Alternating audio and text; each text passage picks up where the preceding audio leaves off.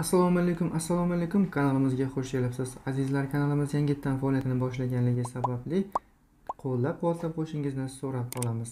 Muhim yangiliklardan biri andijonda bog'chada 4 yoshli bola kun tartibidagi uyquda vafot etdi.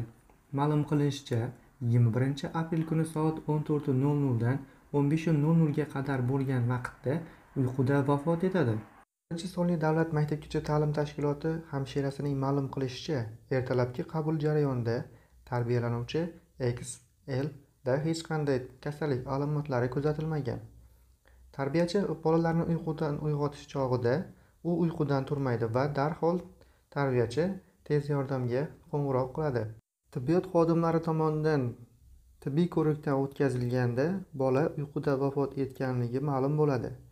Hozirda bu haqda ekspertiza ishlari olib borilmoqda deydi maktabgacha ta'lim vazirligi matbuot markazi.